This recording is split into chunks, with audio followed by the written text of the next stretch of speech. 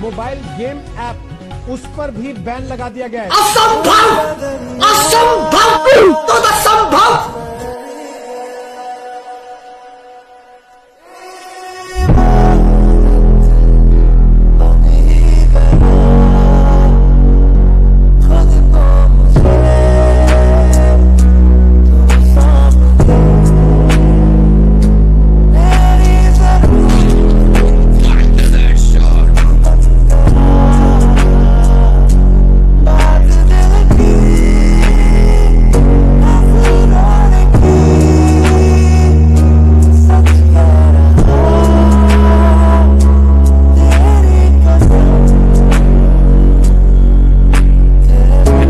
mind.